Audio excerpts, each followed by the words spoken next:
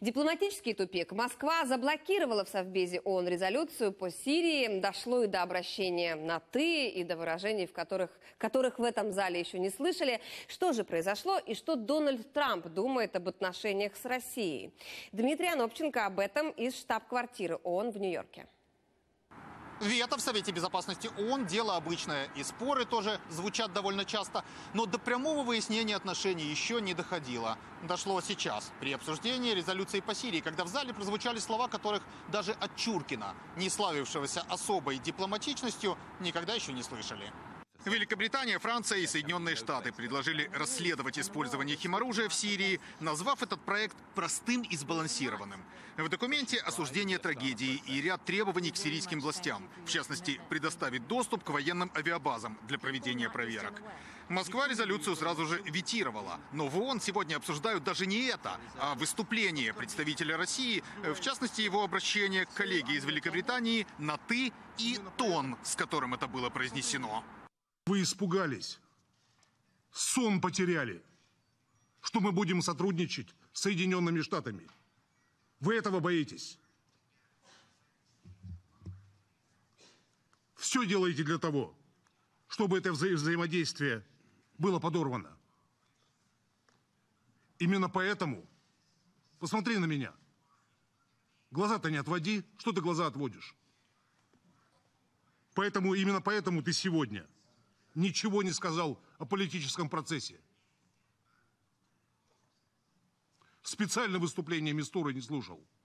Какой-либо комиссии по этике в структуре Организации Объединенных Наций попросту нет. В ней не было необходимости. Поэтому формально этот дипломатический демарш останется без реакции. Однако дипломаты говорят, что даже к Чуркину, э, при всей его неоднозначности, здесь все равно относились как к коллеге. Общались с ним неформально, помимо зала заседания. Та же Саманта Пауэр выстраивала прямой диалог. Но человека, который сейчас остался на хозяйстве в российском представительстве при ООН, теперь дипломаты из Британии или Франции попросту игнорируют. Но что касается резолюции, которую внесла тройка стран, резолюции по Сирии, то все понимали, что Россия, скорее всего, ее ветирует. Однако ее все равно поставили на голосование, просто чтобы обратить внимание мира на ситуацию.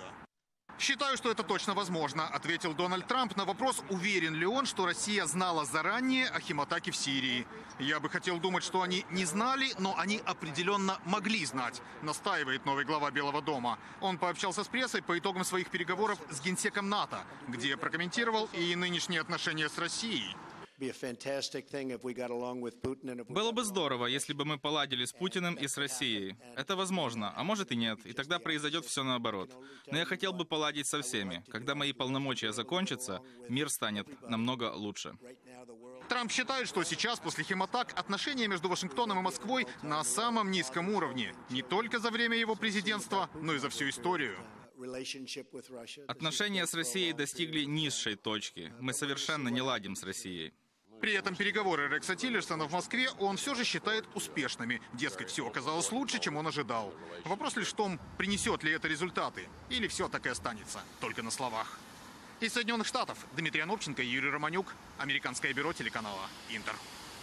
И тем не менее, президент США выразил уверенность в нормализации отношений между США и Россией. В нужное время все опомнятся, и между нами будет прочный мир, написал американский лидер, лидер в своем твиттере.